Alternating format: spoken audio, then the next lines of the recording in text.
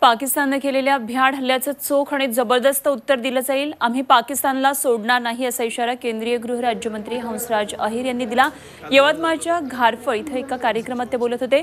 कुरापती पाकिस्तानकडून वारंवार शस्त्रसंधीचं उल्लंघन होतं आणि अशावेळी त्याला उत्तर दिलं जाईल. हाफिज सईदची मदत घेऊन पाकिस्तान छुपे हल्ले करतोय. त्याला वेळीच उत्तर दिलं जाईल असं अहिर यांनी सांगितलं.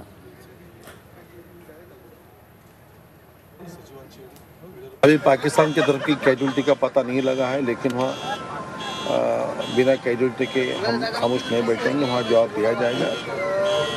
पिछले वक्त में उरी के मामले में आपने देखा है, देश ने देखा दुनिया ने देखा है कि हमने सत्रह के बदले में चालीस को उड़ा दिया था। ये तो होगा ही। हमारे जवान शहीद हुए तो हम खामोश से बैठने वाले नहीं पाकिस्तान की हरकतों को हम देखते हैं, देश देखता है, दुनिया देखती है।